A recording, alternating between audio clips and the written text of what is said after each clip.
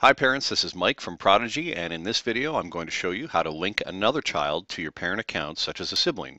We'll start by heading to our homepage at prodigygame.com and logging in with your parent account information. You may log in with your email address or if you have previously linked your parent account to your Google account, you may log in that way. When you first log in, you'll see any children that are currently linked to your parent account. To add another child, it's really easy. Just click the plus sign and a box will appear. If your child already has an existing account, perhaps one they use at school, you'll want to make sure existing account is highlighted and then enter their username and password.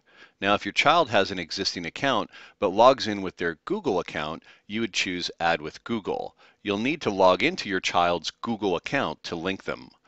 For today's example, we'll be creating a brand new account for a child who has never played Prodigy.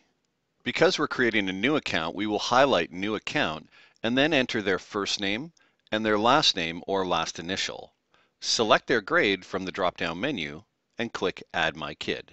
A box with their Prodigy login information will appear that includes their username and password. You can change their password later if you like, but you can write this information down before clicking OK.